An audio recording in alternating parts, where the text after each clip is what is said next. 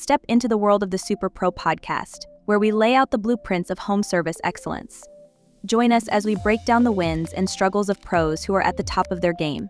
Put their wisdom into practice as you build your company's success. All right, welcome to another edition of the Superpro Podcast, the heartbeat of home service excellence. I'm Roland Ligtenberg, your host and co-founder of Housecall Pro, and I'm an advocate for hardworking pros just like yourselves that help make our homes better, safer, and more comfortable. Through Housecall Pro, I've had the privilege of supporting hundreds of thousands of pros just like you, empowering you all to achieve more, stress less, and redefine success in our industry. Today, I'm super excited to have our guest, Sara Anderson, on the call with us. She's one of the co owners of Drain Daddy, and they're based out in Omaha, Nebraska. And they're a fairly new company. Uh, their goal is to hit 250K this year with a couple trucks on the road. So I'm excited here to dive into Sara's journey and some of the challenges she's overcame and get some some tips uh, and tricks out of her, um, some golden nuggets of some of the early days. So thanks for coming Of course, on the show, thanks Sara. for having me. Oh, great. So tell me, uh, you guys started Drain Daddy uh, during the pandemic We years. did. So we established uh, January 2020 and uh, started servicing Mhm. April 2020. So right after COVID hit.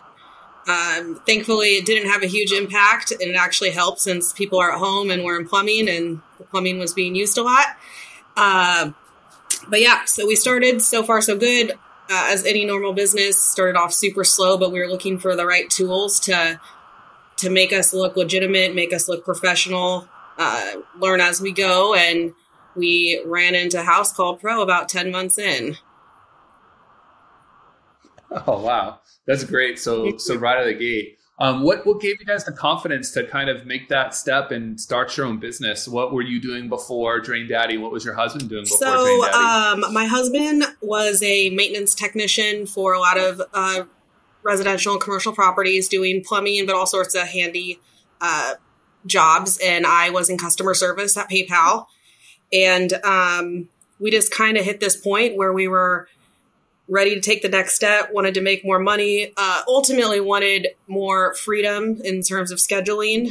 And uh, we just pulled the plug and went and saw an attorney one day after we had figured out a name. And that, that's what we did. That's the first step we made into starting the business. How'd you guys come up with the name Drain Daddy? Yeah, I came up with it. I did I did have some inspiration. I was looking up a lot of different names, but ultimately that one stuck. And um, after researching, I did find a couple of others, but I did not find them first. I I really thought it was catchy. I was like, as long as we have the branding, people won't think this, you know, is a joke. but it people love the name and they call in all the time and are laughing about it and it's it gets a laugh out of people. So, but they remember who we are. Yeah, I think that's one of the biggest things is just establishing a really good brand, a really good image, and just being super memorable. So that way, if someone ever has a problem and they call their friend up, they'll be like, "Oh yeah, I remember this company, Drain Daddy," and it's like it's catchy and it's like it's easy to like just think about. And you guys really nailed that. Thanks so that much. piece It's really de- it's definitely different from the kind of other business names you hear. It's, I think it's more modernized, you know. It is. It is. And all of your branding is super modern, really clean. Um, not too much going on. It's it's very like on point. Um, how how do you think about that brand and that image, and how did you come up with that, and how did you build your website? Did, did you do all of yes, that? Yes i am did you do completely behind why everything looks the way it does. I wanted a clean look.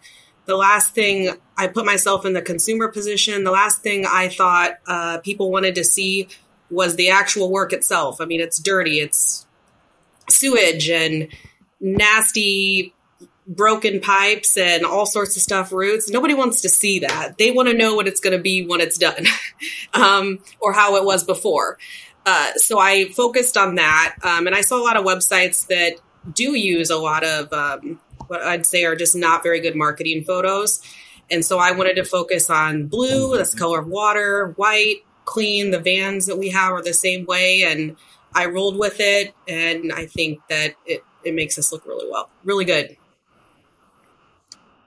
Uh, I really like the golden nugget that you just dropped there, and you did it so casually because I think it's just like built into who you are and as a business. But it's like I went through like I want what does a customer want to experience? You know, like what does a customer want to see? And sometimes a, a lot of people, especially when they're getting started, they're not they're not putting themselves mm-hmm. in their homeowner shoes or their customer shoes. And and you started with that just out of the gate. And then the second piece that you dropped, which is like show the things afterwards. I think you're right. A lot of people show like, look how bad it is. Look how bad it is. And if someone's looking for a service provider, showing them like, oh, look what it looks like afterwards. It's nice. It's clean. I like how you mentioned like blue, like water. And it's just all of that flows through. And it's, um, I think it's often overlooked. I remember uh, just now when we were talking right before the show, um, even when you guys were smaller, you had people calling in saying, "Oh yeah, I see you guys everywhere." Um, and um, and that goes because you've got you know really good branding mm-hmm. behind it. Uh, tell me about your website. Did you build that yourself? Did you have an agency help you? Like, how'd you get it looking? I so had an agency so build it, but it was all off my input and my content for the most part. Uh, you know, mm-hmm. I didn't know what to expect when I first saw it, but I was so happy. It's the best website we've ever had. We've had a few, uh, and they've gone, they've improved and uh, in all ways since we've started. I think we've gotten a new one almost every year. Uh, and we've ch- changed for a multitude of reasons, but I wanted to show our accomplishments. I want it to be clean. I want people to be able to call and book really at any point. I mean, the less clicks, the better. They need to be able to contact us in one click. That's so important and mm-hmm. easily see our services. And this doesn't go for all pros, but our pricing being on our website, our flat rate pricing is so, so important uh, to be upfront so that people can book right away. That's what. Yeah. I, I think a lot of people are really scared because, you know, when they feel like they put their prices online, they don't have the time to like, you know, tell them why it is the price that it is and explain the value that they bring behind the price without showing it. And a lot of people are like, well, I'm only going to show up on site before I give a price. You guys do the opposite, which is like, no, here's our website, super clean, it's nice. We put all the prices here, so it's like fair pricing on a service. Like it's very clear what you guys have going on, and then the same too with the online booking. You build the pricing and the pictures like into that, so that whole like that whole arc you've done is just really good, really clean. And I believe, you know, especially for a service like yourself, you know, obviously there's going to be times when you're getting into stuff where the price might sure. be more or different but it seems like you've got a lot of your basic services just outlined because they're usually going to fall in some kind of you know some kind of range worth of time and you've done a really good job i appreciate that. it's that. a lot and thanks to to you guys. I mean your guys are the back end tools so that's been crucial really important. Uh, I'm, I'm glad to hear that. Um, when it comes to like putting your pricing out there how did you guys think about that? Did you ask your husband like hey how much do you want to price this? Or did you call a bunch of competitors and ask for their pricing and then you you based off of there or did you all like, the above. um, i first called all of our competitors got general pricing. A lot of them wouldn't even give it out over the phone so that's another advantage is you don't see pricing online. You don't see online booking online rarely for plumbing in general let alone just drain cleaning. And then um, mm-hmm we started from a hourly to fl- now we're flat rate. So hourly was the first couple of years, and even though that was online, we disclosed you know the hourly rates and whatnot. And then um, mm-hmm. through your guys's Conquer training that I started and did a few rounds of, uh, I learned how to uh, put together a cost to operate, and that's what uh, opened my eyes to the flat rate pricing. And that if we can make that just get baselines that are making us more than even the hourly was making, but to the customer it appears somewhat reasonable, then we're still mm-hmm. winning, and that's that's mm-hmm. what we've done so far. Yeah, I, I, I love when this the concept of flat rate pricing, which is like thinking and figuring out what it takes to run your entire business, and then understanding what you need to bill out at any given moment mm-hmm. to be mm-hmm. able to make a profit and you're kind of backing into those numbers. And that's definitely something on the Conquer coaching we try to make sure that our pros know because as a consumer, it's way easier to just like buy something. You're like, okay, this is the price, and then I'm going to do it. And it makes that purchasing decision so much easier. And you guys have really done well um, at doing that. And I think for other pros that are listening too, you know, when you're putting things out online, put some thought behind it. But don't be afraid of putting your prices out there because I think it probably attract more people. Just like Sara said, like she called a whole bunch of other companies that are like, yeah, we can't give you a price. We need to get out there. We need to get out there. Um, versus you could have had the booking if you had the price there and you have a millennial uh, like myself that's just like, oh, click, click, book, schedule, done. I'm not calling anybody else. I agree. That's it. So um, now that you're growing a little bit, um, you mentioned you've, you've got a couple employees. Uh, but w- what's been kind of your, your your strategy there, or maybe even lack of strategy um, and, and and luck? Like, how's that? How's that? So it's worked out very well. I've gotten very fortunate, and our employees uh, we found over Nextdoor, which uh, in the beginning of business, mm-hmm. and even now, I'm still recommending our business when I see people asking for clog drains and whatnot. Uh, but the employee that we have full time right now, he was looking for plumbing work and was working for one of our competitors. And I reached out to him, seeing if he'd be interested. And that opened the conversation to a couple of interviews. And he's an amazing employee that we did not find the traditional way, but it's worked out so far. And um, that's kind of how we're we've looked at it. But I just got lucky. Yeah, no, I think luck definitely sometimes plays plays a key factor in it, especially in the early days too. You know, when those first key employees, you know, you might find them in mm-hmm. non-traditional ways. So if you're feeling frustrated with you know doing a standard Indeed post or like a Craigslist post, you know, maybe try you know asking on some of your social networks or a friend of a friend, um, or even competitors. You know, there's there's lots of ways to kind of do that targeting. I think um, that's definitely a good thing to uh, keep in mind as, as, you're starting your business. Um, tell me a little bit about uh, what you think about from like a presentation standpoint. When you guys get out there, uh, you get into in front of a customer's home. Um, you know your your presentation leads to really good reviews, but kind of like walk me through that process and what's kind of the magic behind what you, you mean in terms of just the quality or the customer service experience. Yeah, like the full the full customer journey. Like how does it how does it start? We we talked a little bit about like the website, mm-hmm. the online booking, but like how does it go? How does it go from there usually? So yes, the first uh, step is making sure they can reach us easily, like we discussed through online booking, uh, being able to call us right away. Uh, I right now take all of our dispatch. Uh, it gives people a lot of uh, assurance that I'm local, know the area. I really try to be as not casual, but professional, but a human about it. And I close probably 90% of our calls. Uh, the rest, I would say, are online booking. Wow. And then we enclose, my husband really sets the standard, probably too high, but it's, you know, he's the ideal of what we want our employees to be, which are, um, looking looking appearing nice you know having the com- company logo having the the van and uh, we like how we can send the text with the technician picture. That is, we've got multiple comments on that. So they know exactly who's coming out. And then in terms of service, we always want to be completely transparent with pricing. And if in honesty, we are not here to upsell and cross sell. I mean, I know that is part of business, but we really don't recommend it unless it's needed.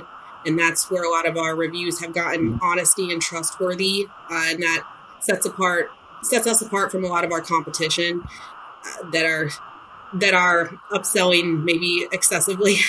And uh, then the yeah. last thing i would say is we don't leave a mess. Plumbers can be known to be pretty messy and we make sure we leave it clean if not cleaner than what it is when we went there to ultimately close off that whole experience. And then sorry lastly is uh, the payment methods being able to send them being being able to be paperless saves us money. It's faster.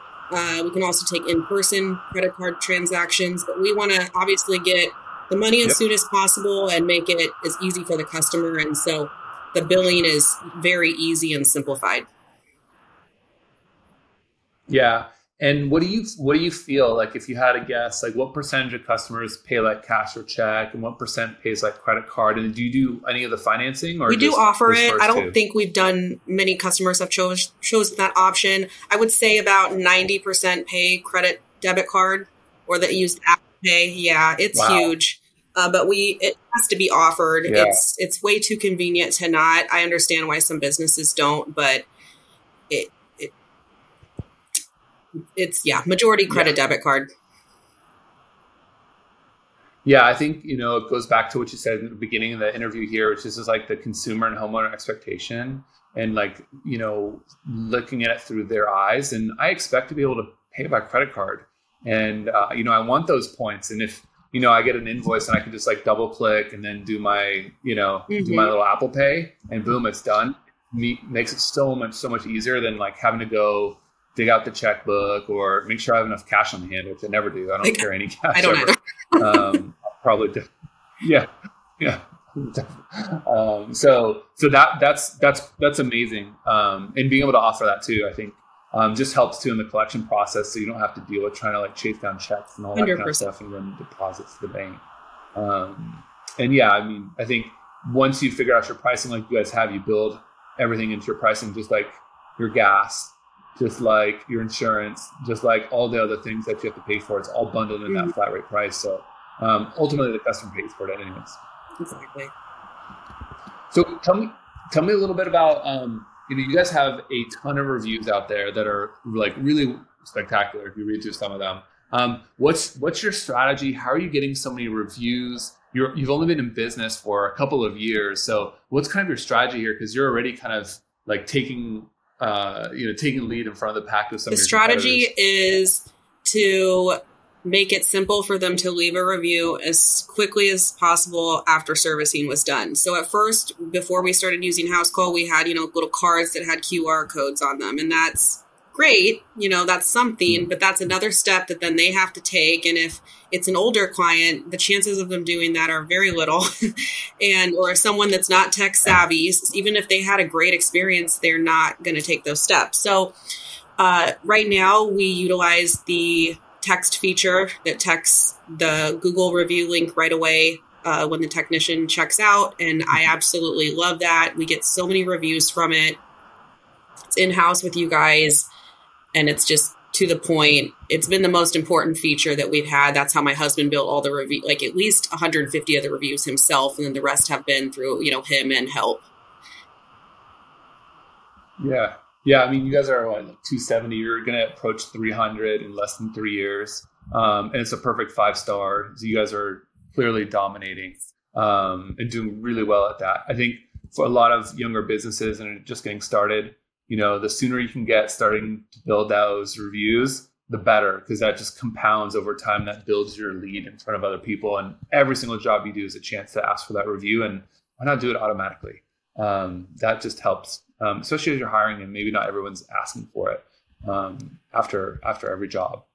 Uh, so now that you've been in business for for wow four years or so, almost going on five, um, you know what what tips would you give like young sara? Like you know getting into the business uh, man four years ago if you would have only known like this or that like what are what are some kind of obstacles or some golden nuggets you, you have i share? would say uh, to have a lot of patience and grace for yourself because when you start you know these a lot of businesses don't make money for a couple years you're going to be usually strapped for cash, and that affects not just your work life, but your personal life. and I really, truly think that's why a lot of businesses fail is just not having the patience to wait out those hard years. Um, but I've constantly uh, been looking on ways to make our brand more credible and legitimate the whole time. Better websites, uh, making sure our text reminders or email uh, free forums are correctly formatted to make us sound as professional as possible, yet a friendly, nice company. Um, I don't know if I would ch- change much of what I did because I'm really happy about what we've done thus far. But the patience thing is key having patience with yourself and realizing yeah. it's going to take time. But as long as you're seeing progress, uh, you know, with the service financially, even if it's little progress, you're doing the right thing and you'll get there. Yeah, I, I love that. Just that that tip that you shared, which is just like have patience with yourself because you're going to expect mm-hmm. everything to just like happen overnight, and you see all these like success stories left and right, and no one ever sees like all the long time and all the just the hard work that goes underneath the cover to, to get to this to that status. But I think, um, especially in the early days, you have such high expectations, and if you just take it easy, if you're doing the right thing, like things are going to start to build on itself. And I think, you know you're seeing that with your business too. The amount of reviews that you have, the reputation that you have, you've got everything working really well, and now you're finally getting to a point where it's like, okay, how do we start adding in a truck? Now you got two trucks, and then the plan for the next year maybe three trucks, and you start to just build and build. Uh, but having that patience sometimes is really hard um, because I think in general entrepreneurs don't have patience because you wouldn't be an entrepreneur either because you're biased for action. So they kind of like they conflict, and so that's definitely a really good test. Um, what about um? I'm curious. What's kind of your your underrated Housecall Pro feature? Like, what's a feature that you think maybe not enough people know about, or something that you wish you knew about earlier, or something that you think doesn't get enough credit that it deserves, and you can't talk, you can't say the uh, review. You got to think of it for a while. Man, um, okay, uh, I would say the. Can I say two? Uh, I would say the House yeah. Call Pro group is amazing. The Facebook group, oh my gosh, I've gotten so many tips, learned so much, been able to help other people. Like, just uh, that's been so helpful talking with other pros, connected with them outside of that group, and able to ask them questions about pricing. Uh, based on their areas and how they're doing mm-hmm. it. That's underrated, I think. Even though you guys are really good at telling people about it, maybe people don't utilize as much. Like that's a free network of hundreds, if not thousands, of other companies that we're all trying to do the same thing here and and have successful businesses and you can learn how other companies do it and also um, share tips and help other people who are just getting started which i like doing. I don't know if you're aware of that but i, I help out a lot especially with little things. I'm, I'm just good with technology so i i know the quirks of how this uh, platform works. Totally, totally. I think uh, that's one of the things in the community that I love seeing, which is like pros like yourself that use the software day to day and can come in and like help uh, because you're used to using the software. And, and, if there are any workarounds that you're using, or, or you know, you're you're able to share those things. Um, and also your successes. I remember when you shared your post, it was like I think you first hit your first 100 reviews, and it was like you know you got a bunch of feedback on that and just seeing other pros share their successes like really lifts you up and motivates you too which i think is definitely underrated and i think motivation sometimes you know after some hard hard days or hard weeks or a hard month you know is, is really nice to to, to see definitely. too What's what's your what's your other one? What's your what's your second underrated? Yeah, the second underrated feature is the uh, man, I'm stuck between a couple. Um,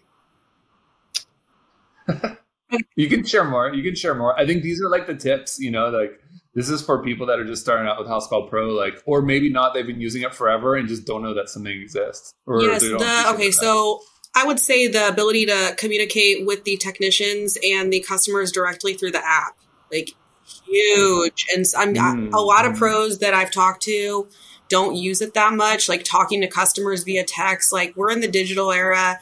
Like I'll save a phone call if I can, and I do it all the time with customers. I mean, you know, you have to you have to put on a professional uh, front if you're going to be texting. You cannot, you know, it's not like texting your friends and stuff like that. But it saved me so much time, so many phone calls, and then we can also communicate with the text which we haven't done a lot of, which is why I say it's underrated. But once I can get us doing that, when I have more technicians, it will be more helpful than trying to do everything through text separately. Uh, we can just all use the app, but yeah. the customer interaction is huge. Yeah. Yeah, I think, you know, the nice thing is because everything's in Housecall Pro and it communicates out via text on the other side of it, but then you can keep it all on one platform and everybody can see different things. So you can have multiple people to be able to view the like communication with the homeowner for example. So if you're talking to the homeowner and then your husband wants to see like, oh what did what did sara say you know during dispatch or whatever? You can kind of see those communication streams like all in one space versus having to like screenshot a text send it over and then like you know there's that whole workflow that yes like lots of work and it's all in one place yeah you just said the scenario. My husband sees everything, and then I, he doesn't need to ask me. He sees it right there. So save time. yeah, totally. Save that time. Don't need to duplicate work. Um, what else? You're, you had a, you had like more. I'm just super yeah. curious. I love I love hearing this kind of feedback on like these non-obvious. The HCP Assist. The we started using that only a couple months ago. Uh, I know it's somewhat new, like within the year new. Uh, that's mm-hmm. really awesome to have in house yep. that I can just turn on because I I'm working the majority of the year, but I take vacations and where I want to disconnect and I can easily have that turned on. And I've placed some calls myself. The reps do a good job. I like that they're directly connected to Housecall. So if people are looking to get into that, mm-hmm. um, eventually to take time off, if they need more phone reps or whatever, I would recommend it. It, it did really help us out. And like I said, we don't use it a lot right now, but that's just because we don't need to. It's not because we don't like to. But that's kind of a, a hidden feature. A lot of people are always asking about it. And yeah, I think like being able to take a break every once in a while, or even like after hours calls too. I know uh, a bunch of plumbing companies too, where you know you can't choose when pipes break, and if something breaks or something's clogged, something's blocked, you know, like there's definitely after hours calls, and people are calling around, and if you know they they can't reach anybody, they're going to keep calling until they find someone that does pick up. And so I think that's definitely an underrated feature because people don't understand how much actually happens after hours. And as a small business owner, if you're the one that's always taking the phone calls, being able to just make sure that someone's answering that other end of, you know, the, the call uh, while you're not able to do it or don't want to, or you're on vacation or you're tired or whatever it is, that's really, really cool. Um, and I highly recommend people check that out. It's sometimes the easiest thing to forget about when you're a really small business because you feel like you have to take all the calls and you know you have to be connected and slave to your phone and you know, now that everything is in your house Housecall Pro app, you're just like you always have it with you, but um, but you don't have to always. You know, you can turn it off. You can make the switch and turn on Housecall Pro stuff. So uh, I, I, I like that you mentioned that because I don't think it. Yeah, if you're twenty four seven plumbing, you need to have that on uh, a hundred percent. Most important thing is the the phones being answered, and then as a bonus, you should have online booking for them to book something, even if you don't have your pricing out there uh, just people need to be able to book with you or they're just going to call somebody else.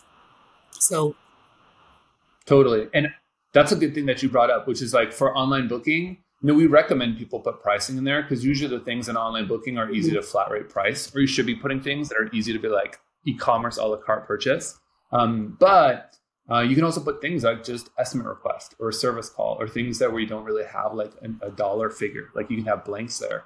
Um, and you can still collect information because it feels way better to do that in a selected time than to like fill out a contact form that's like email me sometime and I don't know when they're ever going to email me and I've never used one of those contact forms just because who knows like if I'm ever going to get an email back. Um, so yeah, definitely cover all your bases. That's a really good tip. Thanks. Cover all your bases. Uh, this has been super helpful, Sara. Is there anything else you uh, you want to share with with the audience? Uh, or any any other golden nuggets or anything else? I will just say that of? I recommend to all my friends and any family members or any just acquaintances that I meet that are trying to start small business, especially in the trades, that Housecall Pro has been. And I'm not just saying this because I'm on this call with you. I it's been so instrumental in making our business credible, legitimate, professional on the front and the back end. We are my husband and I are obsessed with it and uh, you guys are constantly rolling out new features to try to make more things in house, which I like. And mm-hmm.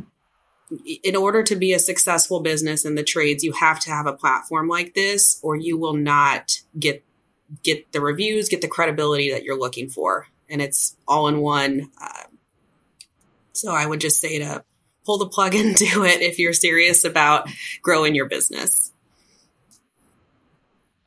Uh, that that that's that always sounds so great. Thanks for sharing that. I think um, you know ultimately, you know, you guys have done a great job with just your brand, your professionalism, and having something um, to be able to keep track of that and just keep your appearance looking really professional is key to growing the way you guys have so far. And I'm super excited to continue watching you guys grow. And thanks for engaging in the community and talking to pros and helping other pros. That's what that's all about. And um, I'm really glad we had the chance to interview. Appreciate so much, it. Thanks for having me on. Take care. The Superpro podcast is brought to you by Housecall Pro, the leading platform for the home service industry. Housecall Pro streamlines your workflows and simplifies everything from scheduling and dispatching to communication and billing. Unlock the full potential of your home service business with Housecall Pro. Work smarter and more efficiently with streamlined workflows and detailed analytics. Win more business and serve your customers well, every single time. Join more than 40,000 home service pros who have already revolutionized their businesses. Work smarter with streamlined workflows, get organized with centralized information, and scale your business your way. Learn more at housecallpro.com.